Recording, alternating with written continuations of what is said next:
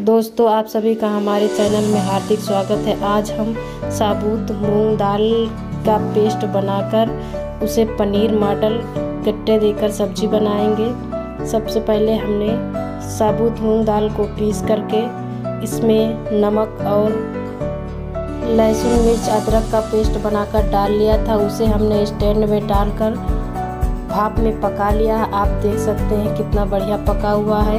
ठंडा होने पर हम इसे गिट्टे बना लेते हैं। अब हम चलते हैं कढ़ाई की तरफ़। हमने कढ़ाई को गैस पर गर्म करने के लिए रख दिया है। एक चम्मच तेल डाल देते हैं। इन गिट्टों को फ्राई कर लेते हैं।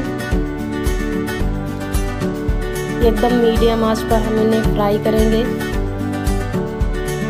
लगभग हम तीन मिनट तक इन गिट्टों को फ्राई करेंगे। बीच में हम इसे कर पकाएँगे और इसे पलट भी देंगे। आप देख सकते हैं गिट्टे फ्राई हो चुके हैं। अब हम एक प्लेट में निकाल लेते हैं। अब हम दोबारा गैस पर कढ़ाई चढ़ा देते हैं। एक चम्मच तेल डाल देते हैं। एक चम्मच जीरा डाल देते हैं। जीरा चटक रहा है।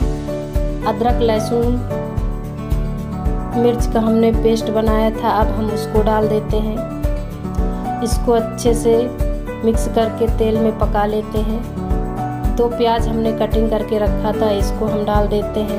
इसको हल्का गुलाबी होने तक पकने देते हैं। तो दालचीनी के टुकड़े, एक तेज पत्ता हमने डालकर पका लिया है। अब हम इसमें डालते हैं एक सब्ज़ी मसाला, एक चम्मच एक चम्मच हल्दी पाउडर, दो चम्मच धनिया पाउडर, एक चम्मच चाट मसाला, एक चौथाई चम्मच मिर्च। इनको अच्छे से मिक्स करके हम इसे थोड़ा सा पानी डालकर पका लेते हैं ढककर। हम इसे इतना पकाएँगे जब तक कि कढ़ाई से मसाले तेल ना छोड़ दें। आप देख सकते हैं। अब हम टमाटर की प्यूरी बनाकर रखा था, इसको हम मसालों में पका लेते हैं। एक चम्मच हम नमक डाल देते हैं, नमक अपने स्वाद के अनुसार डालें।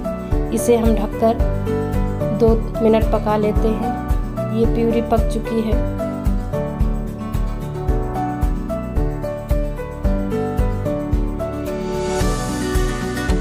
एक चम्मच मिर्च पाउडर हम डाल देते हैं। इसको भी थोड़ा सा एक गिलास पानी डालकर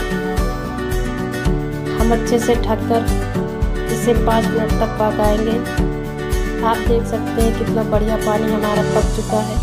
अब हम जो गट्टे फ्राई करके रखे थे, इन गट्टों को इसी में डाल देते हैं। अब हम इसे ढककर पाँच मिनट इसे मीडियम आँच पर पका लेते हैं। आप देख सकते हैं, सब्ज़ी हमारी बनकर तैयार हो गई है। अब हम इसे प्लेट में ट्रांसफ़र कर लेते हैं। प्लेट में निकाल कर हम धनिया कटी हुई हरी धनिया डाल देते हैं। दोस्तों, हमारे चैनल को अवश्य सब्सक्राइब करें। धन्यवाद।